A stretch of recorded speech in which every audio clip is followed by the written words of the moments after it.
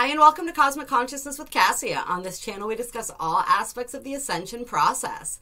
I have a variety of services that I offer to assist in your awakening journey, and you can find those listed in the description box below. Today, we're going to be doing the daily reading for Friday, November 6, 2020. And today's a day that's ruled by the solar plexus chakra and guided by spirit. And today is quite an exciting day. We have a new wave spell beginning. We also have a galactic activation portal. And anyone who has been following uh, may have seen that I put out the 1111 portal video last night. So I encourage you to check that out. We have been in the warm up for the 1111 portal since the 1st of November. And so we've already kind of, we're being prepped for this major activation that we're receiving, which is then prepping us for the major activation that we will be receiving on the 21st of December, right? But then we also have these little portals scattered, scattered in throughout the galactic calendar. And so today is just like a super, super super portally day, I guess you could say. And so we want to, of course, be careful to or not careful, but we want to be cognizant of this and we want to be nourishing our physical vessels. We want to be paying attention and listening to our bodies as well as our spirits today because we are receiving a lot of energy. And this 13 day wave spell that we are that we are initiating is interestingly enough going to conclude on the 19th of November, which is the day that Mercury will will exit its post shadow period. And so this is really interesting. I was listening to an astrologer that I respect a lot. Her name's Nadiya Shah. I was actually really fortunate to take a class with her recently. She is such a beautiful and incredible human being, such a light in this world. She's amazing. And she was talking about the last time we had this this same thing going on with Mercury, right? Mercury in retrograde about to turning direct, right? On the election, this whole patterning was 2000 and we saw what happened in 2000 with the election and so we're seeing something very similar happening right now. And it's very interesting right? But it's also extremely nerve-wracking. It has people very on edge. And so we met her prediction was that this was going to happen and her further prediction and she was right on the money with that her further prediction was that we may not get any answers until mercury moves out of its post shadow period and so it's just interesting that that happens on the 19th, which is when we enter our next wave spell. And so I think that this 13 day wave spell that we are in right now is very significant. And the energy of this wave spell is the white magnetic wind. And so the magnetic tone is all about unification and purpose. So it's about it's about unifying, right? Unifying as as a collective, unifying with with ourselves, with source, with each other, like unity unity, right? And uh, how when we do that when we begin to unify with the tr- with our souls with source with each other we then begin to find our purpose. And when we we begin this process we attract our purpose like a magnet.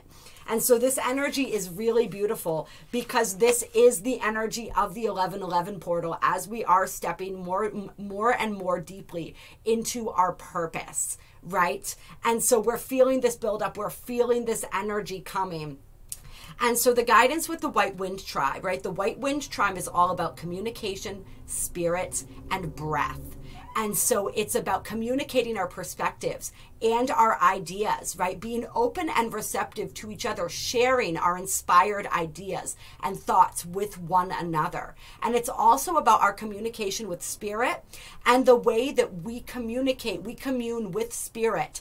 And that inspired, that's what we mean by inspired knowledge. When we communicate and commune with spirit, with our higher selves, and then we share that communication and that inspiration with each other. So we're really being encouraged to go above and beyond and to really look more deeply into things to look from that from that higher spiritual perspective to find that common ground right that unity that we can only find when we view each other as spiritual beings on a spiritual journey together. So, this is going to be so important as we're moving forward, right? It says, Let ears be open so truths may be spoken and so we really we want to we want to be cognizant of that. We want to be constantly working toward that. Being open being receptive to each other to different opinions to different viewpoints to different truths right? Just really, really, really being open and receptive to that. Our abilities and styles of communicating shape our realities and our relationships with others, right? And so we really communication and how we communicate and what we communicate with each other is heavily, heavily highlighted right now. And that energy of unity, that energy of of purpose is very, very, very strong.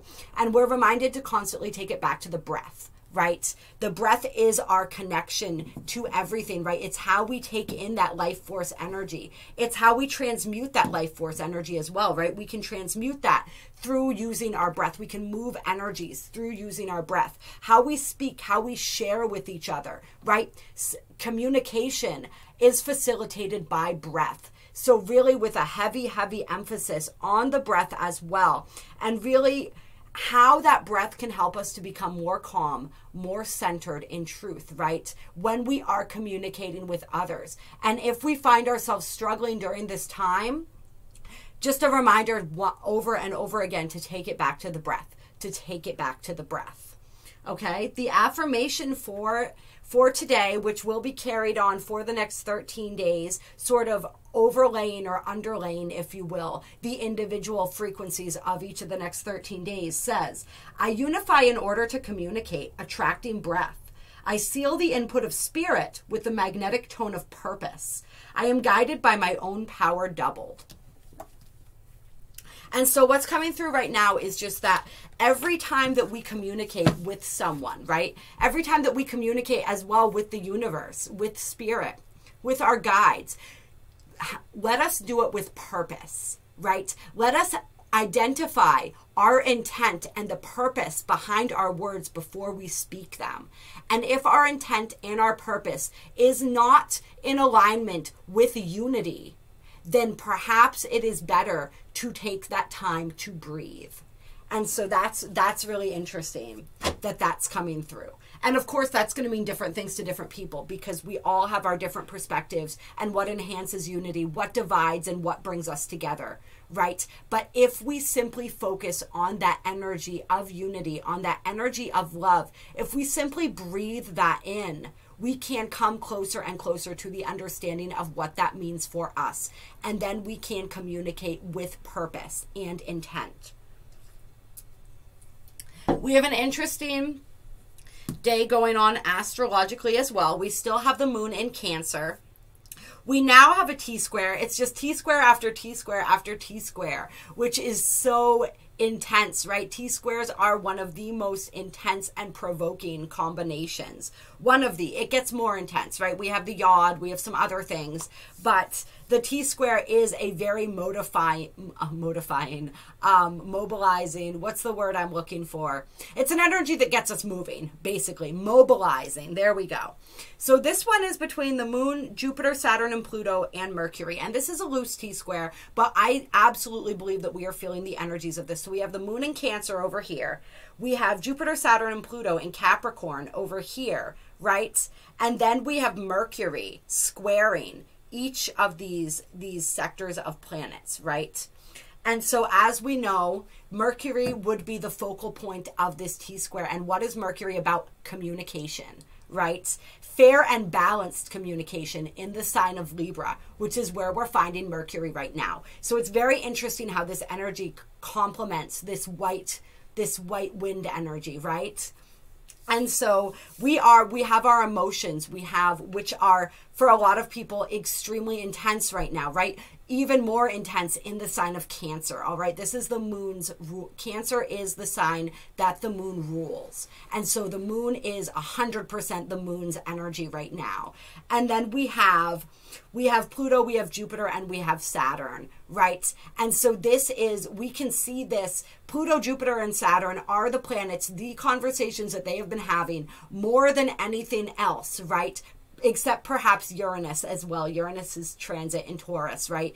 But these three planets are responsible for so much of the change and the upheaval, right? They are facilitating those energies. And so we can see this as our emotions being at odds with the upheaval and the chaos that we see in the world, with whatever this is bringing up for us as far as our belief systems go, as far as our faith goes, as far as our dogma goes, right? Our morals, our ethics, our own empowerment, our desire to feel empowered, our own personal authority and how that clashes is complemented or not by the authorities we see in the world right now. This energy over here at odds with our emotions, with our desire to, to nurture and be nurtured, to feel safe, to feel secure, right? Our intuitive, highly feminine aspect, right? In its in its most gentle, intuitive and emotional nature, very much at odds with all of this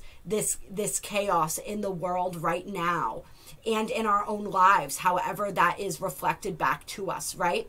And so the midpoint, the middle ground in that is Mercury in Libra. It is looking at things, right? Mercury represents communication and the mind. So it's looking at things from that fair and balanced and unbiased perspective, right? Uh, Libra is an air sign. It does not have emotional deta- attachment. It looks at everything in that detached manner through a logical eye, right? And then we have the communication piece, communicating in that same fashional, communicating not from a place of emotion, but from a place of logic. Also, a very a fair and balanced and harmonious approach to our communication styles, right? So this is what we're being asked to do. We have had that incredible like that higher perspective when we had that opposition of Mercury and Uranus, which is the higher octave of Mercury, right? And we had this retrograde that's really been pushing us when it comes to our perspectives, when it comes to our way of seeing and understanding people, things, information, our own truths, our own belief systems. This has been going through an upgrade. So we're being asked to call upon that upgrade and to to communicate and to to organize our own minds and our own personal information through that fair and balanced and slightly detached lens, right?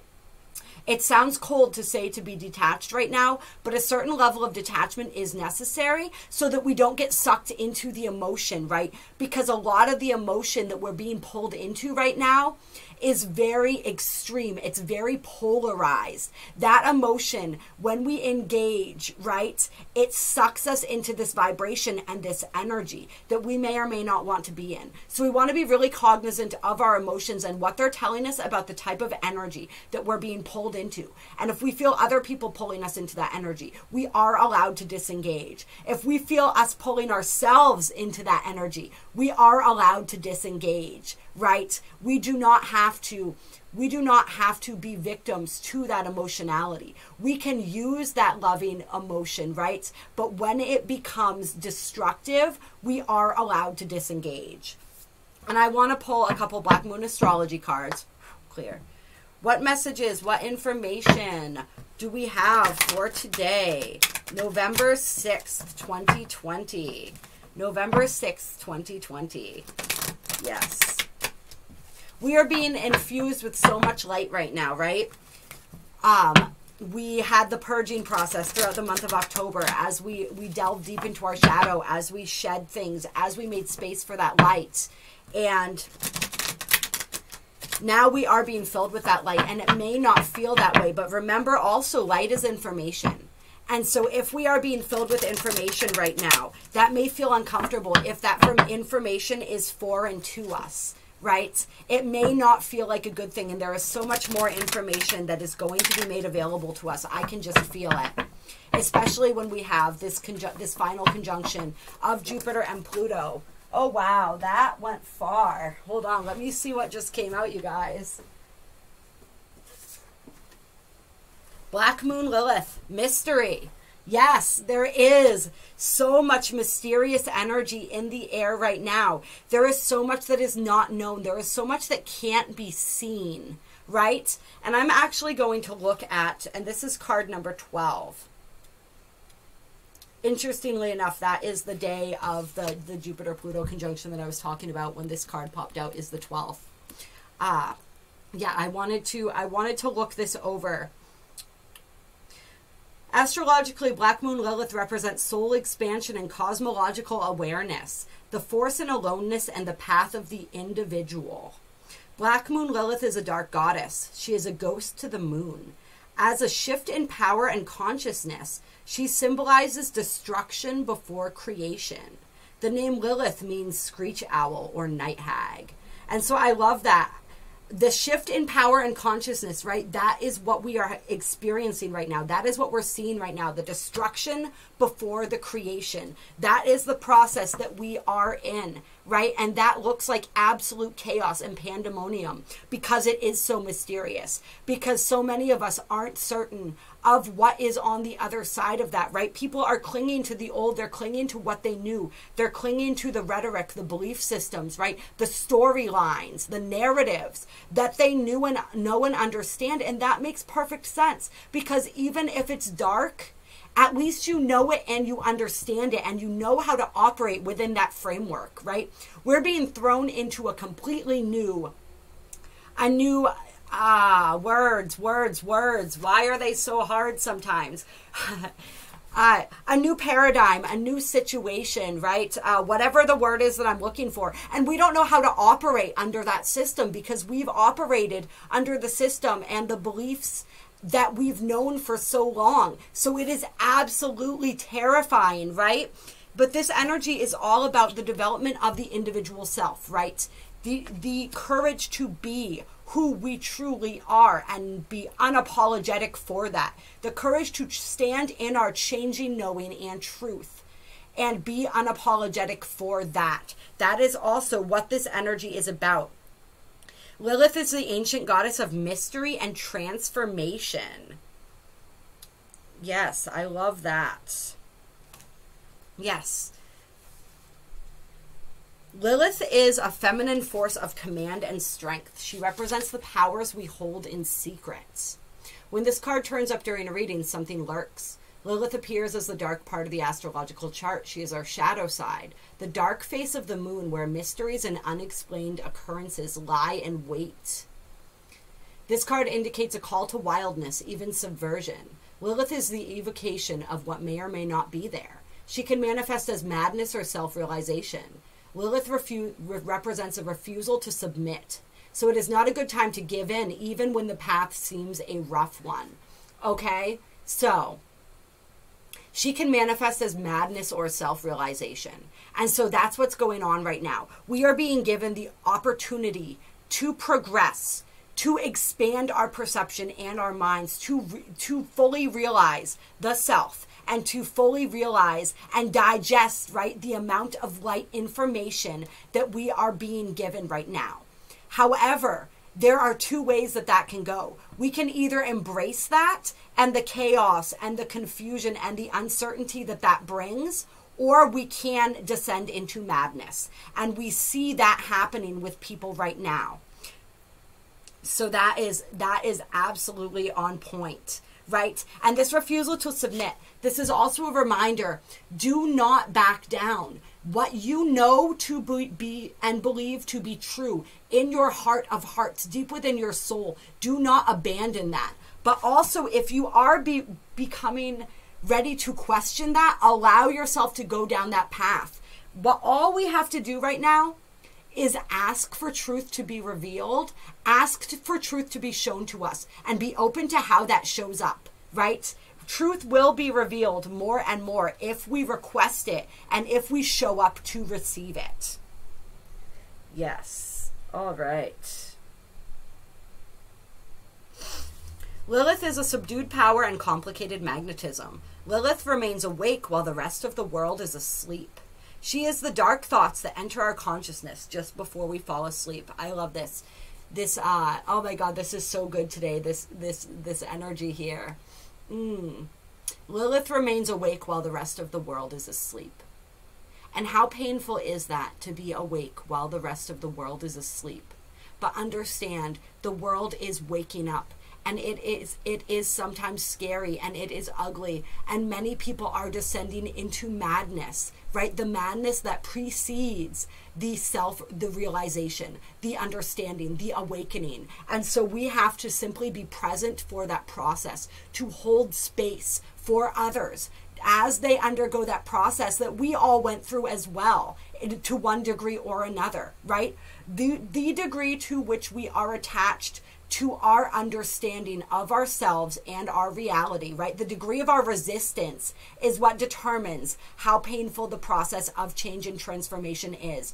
And so, people who are heavily indoctrinated, heavily entrenched in the old system are going to have a really hard time letting go of it. And that's okay. We hold the light, we hold the vision, we hold the love, right? And that's all that we can do. But do not question. This is a time, and I've been feeling this energy, and I've experienced it myself at times, where many of us are questioning our own truth. Am I actually crazy? Do is everyone else right and I'm wrong, right? And so this card is very firmly stating no. You know what is true. Stand by that wholeheartedly, right? We are watching the castle crumble right now and it's it's crumbling it's falling down. If we all of a sudden start questioning and doubting ourselves and decide to go try to hold it up all that ha- is going to happen is we're going to get buried underneath the rubble. And we don't need to do that right? Yes. Oh i this is so perfect this card all of this you guys. Like are you serious? You have a feeling that you are waiting for something to happen, but you don't have the entire information, so the facts are hidden or mysterious. Something stalks, you feel it. But Lilith is sharp. She knows, she senses, she processes what is there. Because Lilith feels slighted, she can represent a formidable foe or dangerous enemy. Through Lilith, we discover creativity and the beauty that can exist in the darkness, as long as we keep our own demons in check and under our rule. Is that not absolutely perfect or what? Honestly. I don't even think that we need to do any more cards. I think that that says everything right there. So what I'm actually going to do is pull a couple keepers of the light cards to close this out for you guys. I know, right? This is this is so me, right? I don't think we need to pull any more cards, but we're going to pull a couple more cards. and on the bottom of the deck we have Virgo, I analyze, right? Analyzing, reanalyzing, um allowing ourselves to be open to all of two different perspectives, right? opening up that mind energy is what I feel. I feel like there are people who are trying really hard to analyze this mystery, and it cannot be perceived with the analytical mind. We have to go deeper than the analytical mind in order to fully understand and process what's going on right now. Then we have Paul the Venetian experiencing grace. Share your gifts with grace. Waves of inspiration and love are coming to you, right? That is what that energy truly is. It's inspiration and love right? That is what is truly coming to us if we are open to feel that, to experience that. Just know that that is what's happening and continue to share your gifts. Continue. This is and this is going back to the 1111 portal video again, right? But this is a time when light workers are really being called to step up into their purpose, to share their voice, to share their gifts, right? You were you came into this world with these gifts for a reason, with your voice, with your individual understanding of truth because you were meant to share it, right? We spread the light we spread the the light which is the information right and the love which is the compassion we spread both of those things any and every way that we can and we do it with grace. We do it with understanding. We do it with tolerance and compassion when and wherever possible and it is always possible. And then we have Hilarion divine healing. Honor your sensitivity retreat to to recharge and heal. Your light can support others and if you are retreating to recharge and heal right now, that you're that is growing your light. That is that is allowing your light to flourish. So you are still supporting others when you do that. And it is absolutely okay to do that. Healing yourself, supporting yourself, nourishing and loving yourself is healing, nourishing, and supporting others. So never, ever, ever forget that. And then Serapis Bey Ascension. Move into your true self, rise above the darkness. The light is here. Boom. Done. End of story, end of reading right there, right?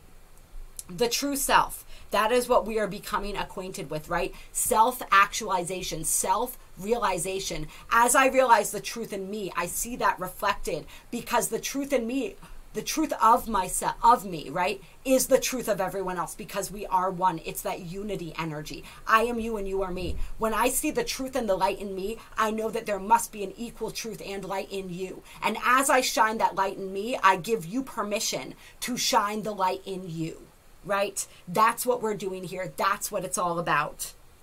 Rise above the darkness the light is here. There is only light right? Darkness is only an absence of light. As we shine, line, shine light into the darkness, we return the darkness to the light, right? The darkness only exists because there is an absence of that light. We can return, we can transmute that, we can bring that darkness home. Right? The light is the only thing that ever existed, the only thing that can be, so everything comes from it. And anything we return to it, we are returning home. And then on the bottom of the deck, we have Djwal Khul, Dharma unfolding. Remember that you are on a path, right? Take one step at a time to happiness. Take that next step that's in front of you. Don't worry about being 20 steps ahead right now. It's impossible to do so. Just take that next step that is unfolding, that is leading you further and further to your Dharma, your life purpose, right? Um, we talk about the life purpose being activated. All of this energy is so on point for this 1111 warm up that we're experiencing right now, as well as Diana, focused intention, and Isis, magic manifesting, right? Think about what you desire, set your sights high, expect the best, best possible outcome. This is what we need to do right now. Okay? This was in the 1111 portal video as well. Our thoughts are so powerful and so hyper, hyper powerful right now, right? In this warm up, the 11 1 through 11 11 and beyond, right? But especially right now, the manifesting potential is at an all time fever pitch. What you think, what you believe, the spells that you cast, right?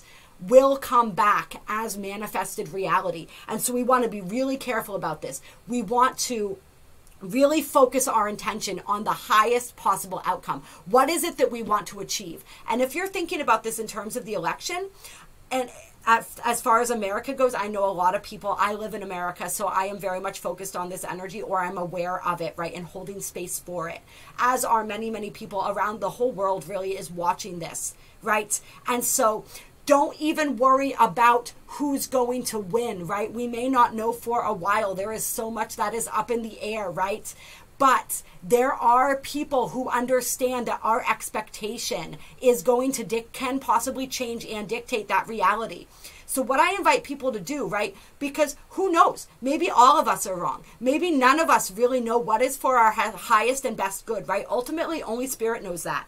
So, focus on the best possible outcome, not who do I want to win, not, oh, it's going to be, I want Biden, I want Trump, not that. Focus on what reality do you want to live in? How do you want that to look? How do you want that to feel? And then trust that whatever is going to be the most fortuitous path to lead us there will manifest if we put those intentions out. Not for a particular outcome, but for the best and highest ultimate outcome of all. That is powerful right there. And we are, and then on the bottom of that, we have hope, right? Hope. Love and acceptance, right? That's it. We're going to leave it right there. That was absolutely, that was powerful and that was beautiful. I love you all. I appreciate you all so very, very much. If you like this video, hit that like button. Uh, comment below. Tell me how this video resonated with you. Tell me how today's going for you. I love hearing from you guys. There are links to donate to my channel down below. There's also a list of my services with my email. If you would like an energy healing session, right? If you would like a personal reading, the, those things can be so incredibly helpful, especially the energy healings right now. So please reach out to me for that. I would love, love, love to assist you with that.